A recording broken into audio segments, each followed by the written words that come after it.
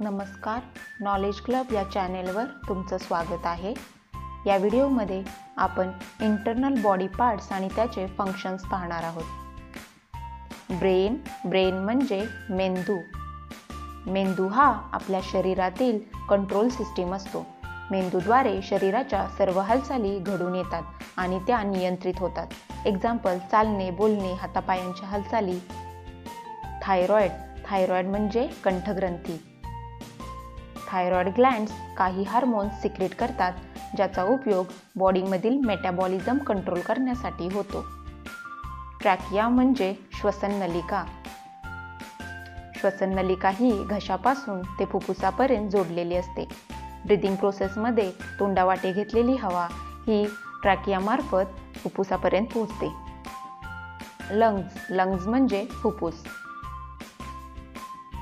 Lungs हा एक respiratory organ आहे. हवेतून घेतलेले ऑक्सिजन हे पूर्ण बॉडीतील रक्तवाहिन्यांना पोचवणे आणि शरीरातील कार्बन डायऑक्साईड बाहेर फेकण्याचे काम लंग्स करते. हार्ट हार्ट म्हणजे हृदय. हार्ट हे आपल्या शरीरातील रक्त पंप करण्याचे काम करते. हार्ट आपल्या शरीरातील प्रत्येक भागापर्यंत रक्त पोचवण्याचे काम करते.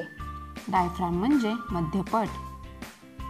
डायफ्रॅम हे ब्रिदिंग प्रोसेसच्या वेळी लंग्जना मदत करते. डायफ्रॅम हे कॉन्ट्रॅक्ट आणि रिलॅक्स होतात ज्यामुळे लंग्जना हवा आत घेणे आणि बाहेर सोडणे इझी जाते. लिव्हर लिव्हर म्हणजे यकृत. लिव्हर हे मेटॅबॉलिझम नियंत्रित करते. लिव्हर हे बाईल म्हणजेच पित्त तयार करते जे अन्नाचे पचन करण्यासाठी मदत होते.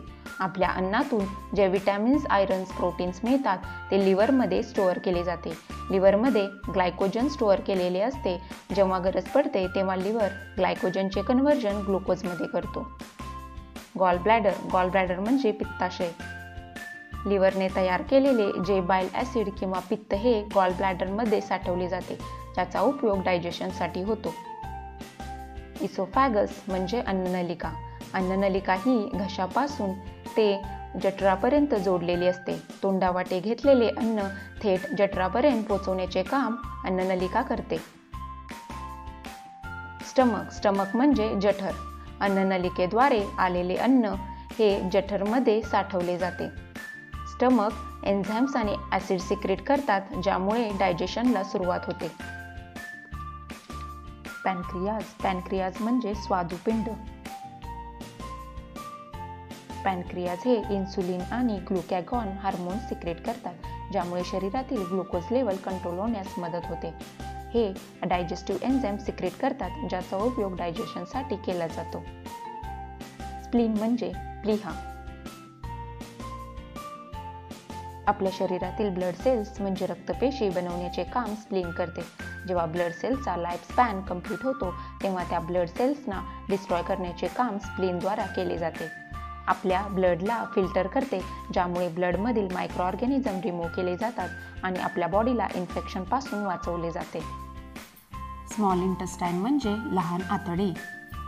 स्टमकमधून आलेले फूड हे स्मॉल इंटस्टाईनमध्ये ब्रेकडाऊन केले जाते आणि फूडमधून न्यूट्रियन्स ॲब्झॉर्ब केले जातात. लार्ज इंटस्टाईन म्हणजे मोठे आतडे. लार्ज इंटस्टाईनमध्ये जे इनडायजेस्टेबल फूड आहे त्यातून वॉटर आणि साल्ट ॲब्झॉर्ब केले जातात आणि उरलेला भाग स्थूलच्या रूपात साठवला जातो. किडनी म्हणजे मूत्रपिंड. आपल्या रक्ताचे शुद्धीकरण किडनीद्वारे केले जाते. ब्लडमध्ये खूप विषारी पदार्थ असतात जे किडनीद्वारे वेगळे केले जाते आणि युरिनमधून बाहेर टाकले जाते. ब्लॅडर ब्लॅडर म्हणजे मूत्राशय. किडनीद्वारे तयार झालेले युरिन हे ब्लॅडरमध्ये स्टोअर केले जाते. युरेटर युरेटर म्हणजे मूत्रमार्ग.